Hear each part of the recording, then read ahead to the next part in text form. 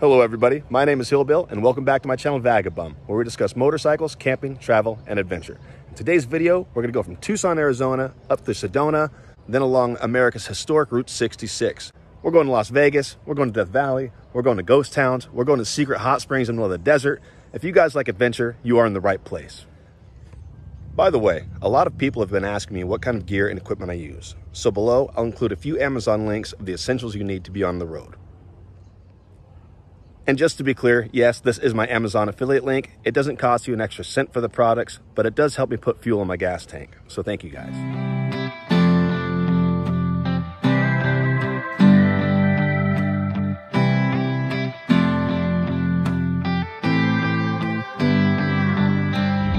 It's the 4th of July. It's right about noon. I've been house sitting at my friend Sophia's place for a few days. I know what you're thinking. Hillbill, it seems like you house sit more than you ride. Listen, if you have a house and you need somebody to come there and, and wash it for you, I am your guy. All right. I have plenty of time. All right. We're in uh, Tucson. We just made the cycle, skis, and ATV, and this is where me and the boys say la vie. Yeah. Clever, I know. Fellas, we'll see you down the road next year. Stay tuned. So it's the next day. I'm no longer crying like a little baby because of the heat. I'm over. I'm better now. I'm okay. I'm at a really cool uh, restaurant and bar called the Roadrunner. Very awesome place. Got a really cool live band playing. Their BLT was out of this world. It's like two pounds. Onion rings, amazing. Highly recommend this place. Roadrunner Saloon. I don't know. It's just somewhere north of Phoenix on the 17. Look it up. just, you guys.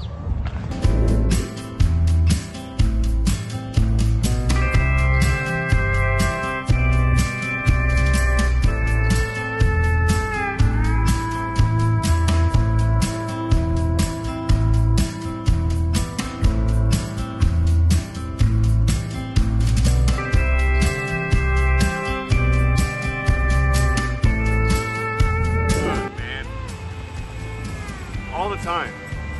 Rain, snow, heat stroke. Can't catch a break. Look at all these bikes. It's a great place. As my buddy DJ says, look, look at all the kids leaving their toys on the floor. if you like beers, tacos, bars, and bikes, this is your place. It's 3 o'clock. I'm leaving Sedona. I'm heading up to Flagstaff, Arizona at the Museum Club there. It's a really cool restaurant and bar, and they're having live music. And she said she can give me a free ticket tonight, and I love free. Anywhere, been anyone. You stole my heart like a thief on the run. You're not much. Good morning, guys. So it's almost six o'clock in the morning. I'm packing up, getting out of here.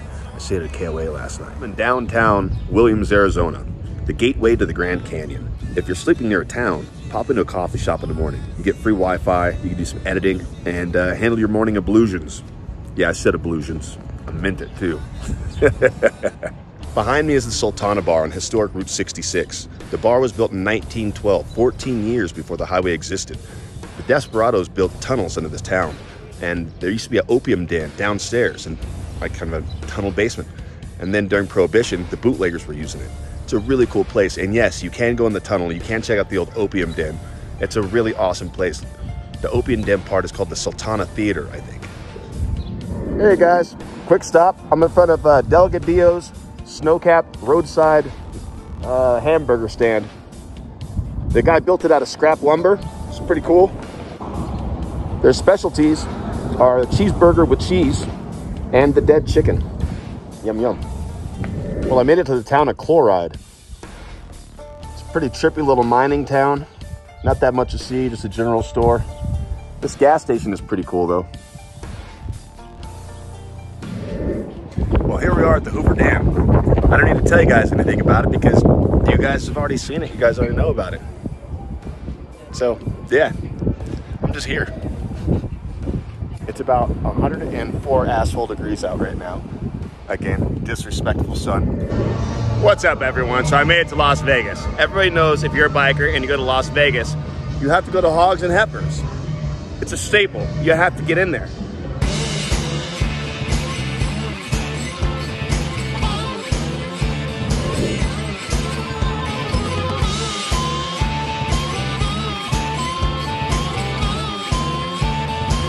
All right, guys, We're heading out of Vegas. Destroyed my liver and now I'm gonna go right through Death Valley. Super hungover. Don't do what I do.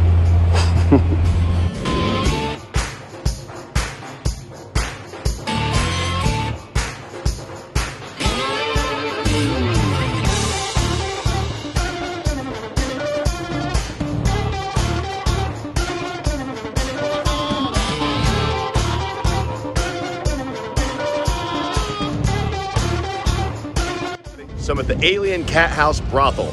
It's in the middle of Nevada, middle of the desert, and I've heard the hand jobs are out of this world. Can't confirm.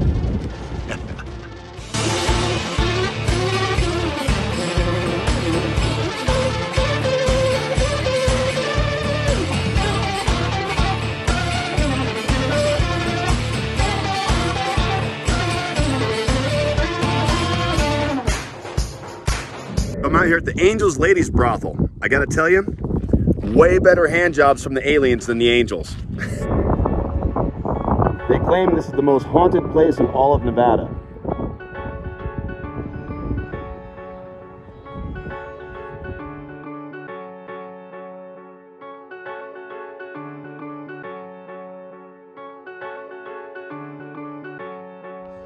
How's it going, everyone? I'm here with Sylvia. She's the uh, barkeep at the the Santa Fe Saloon in Goldfield. How long have you worked here? Oh, on and off for 45 years. That's quite a while. I bet you got some wild stories. Can you tell me one? Oh, we got ghosts. I bet you We do. We have a man in black that walks by our window every A regular night. old Johnny Cash, I guess. Uh, Wyatt Earp. was Wyatt Earp here? Yes, he was. Is that right? He was sheriff of the town at one time. Is that right? yeah. Guys, this place is fantastic. Come in and see Sylvia. The bar is a true Western classic. So I got some more information on this place, the Santa Fe Club. It's the oldest continuously operated saloon in the state of Nevada. It was opened in 1905. They've been slinging drinks out of this place for a hundred, what's that, 17 years? Quick math right there. This place is awesome. There are Joshua trees in the front yard. There's like old like Model A parked right there. Looks like it still runs. Like, this place is really cool, and the people inside, awesome people inside.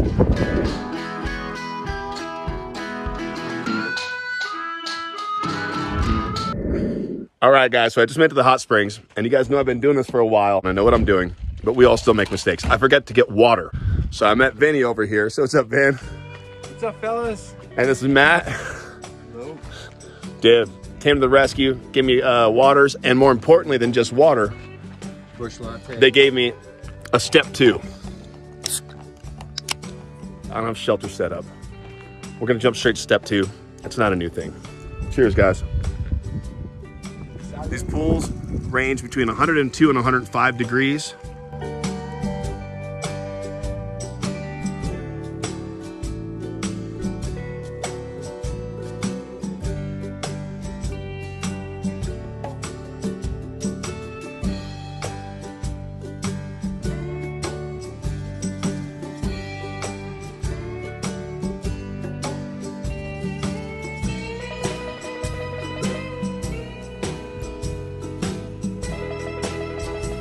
Go hop in the hot spring and watch the sunset. What's up, guys? I'm hanging on a hot spring. I got a little flashlight shining on me so I can see you. So you can see me. Which way does this camera work? uh, one thing about hot springs, they're always piping hot water in, right? What you guys might not know is when the water gets too hot, you can take the pipe, they're always flexible, and just push it off. And then when the water gets so cold, dump them right back in. Almost every hot spring is like that. Or they'll have a bucket if it's along a river. And then you can uh, just grab like five gallons of hot- cold water and dump it in your hot spring. This water is about 100, 103. It's perfect. If you guys want to know where this hot spring is, leave a comment down below. All right, guys, I'm trying to sleep. And there are all these burros, these wild donkeys outside of my camp. I guess they're probably in my camp. They're so loud.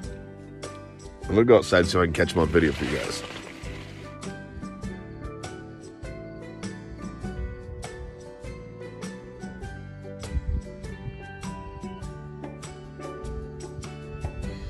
Where the hell are they?